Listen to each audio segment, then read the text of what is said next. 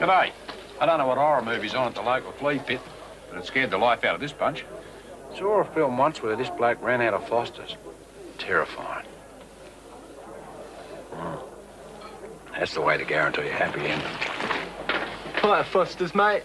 But don't go giving it to your pets. You can see how big it's made this parrot, grow. Foster's, the amber nectar.